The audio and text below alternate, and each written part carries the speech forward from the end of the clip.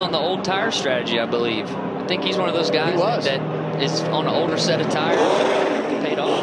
35 laps. We got some angry fans here. Ty Gibbs, Sam Mayer. Helmets on.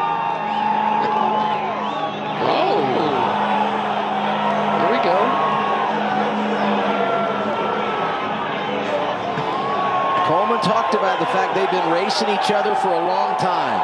Oh, and there's a oh, punt. Oh, oh, Ty Gibbs going after Sam Mayer, and we've got a fight at Martinsville.